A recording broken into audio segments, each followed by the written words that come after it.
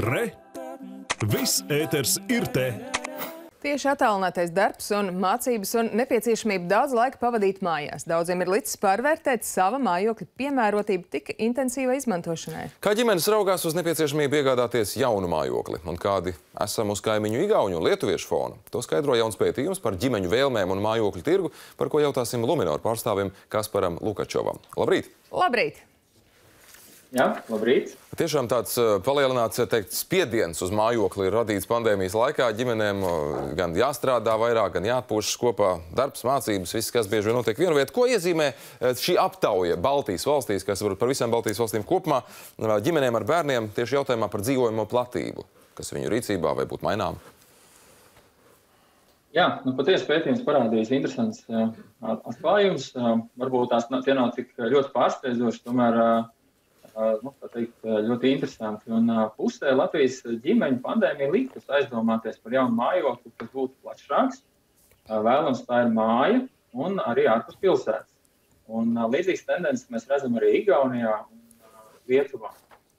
Līdz ar to nu, mēs ticam, ka šis ir tāds laiks, kad ģimenēm pat ir iespēja notestēt savu sapni, varbūt pat pirms reāls pārvākšanās par šo dzīvošanu privātmājā, laukos vai mazpilsētā. Brauks, man ir vairāk secinājumu, ar kuriem es jūs labprāt varu iepazīstināt. Mm.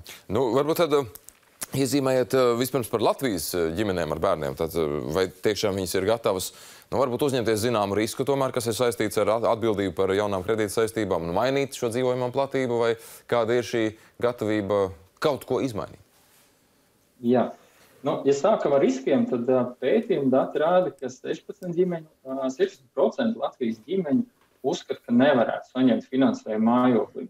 Savukārt vairāk nekā puse, ja 59% ģimeņu Latvijā varbūt pat nezina par pieejamo kredīta apmēru un nepieciešamo summu pirmajai iemaksai. Tikmēr kaimiņu valstīs, īpaši Igaunijā, ģimenes ar bērniem ir nedaudz zinošāks.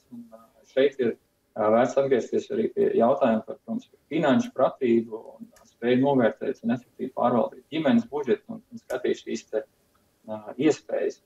Nu, neskatoties uz to, pētījums rāda, ka lielai daļai Baltijas ģimenēm ar bērniem tomēr ir iespēja iegādāties savu mājokli. Un vidēji 40% ģimeņu visās valstīs kopumā būtu gatavas maksājumam par mājokli atvēlēt līdz pat 300 eiro. Vēl ceturtā daļa no 300 līdz 400 eiro. Un, nu, piemēram, nu, ko tas īsti nozīmē?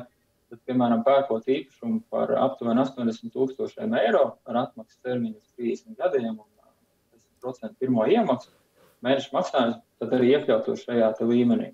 Jā, un uh, pavisam īsi gribam jums vēl jautāt, tomēr vienu problēmu jautājums iezīmējas. Daudzas ģimenes ar to ir saskārušās brīdī, kad grib mainīt uh, savu mājokli uz māju laukos, tā teikt. Ārpus lielās pilsētas, kādā nelielā pagastā vai nelielā pilsētā.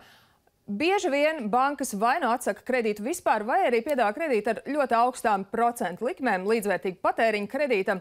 Un to nevar nosaukt īsti par draudzīgu attieksmi vai pretīmnākošu attieksmi. Ir plānots kādas izmaiņas, strateģiskas izmaiņas šai ziņā? Jā, nu, ja mēs skatāmies, protams, Baltijas kontekstā, tad tā bilde iezīmējas dažādi. Un neapšaubām tā aktīvākā tirzniecība ar īpašumiem notiek nu, ekonomisko centru tūmā.